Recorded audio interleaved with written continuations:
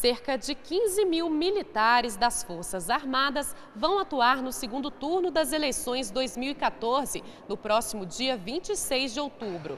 Segundo o Estado-Maior Conjunto das Forças Armadas, que coordena a operação, 280 localidades de 15 estados vão contar com o auxílio dos militares. O trabalho nos municípios foi autorizado pelo Tribunal Superior Eleitoral.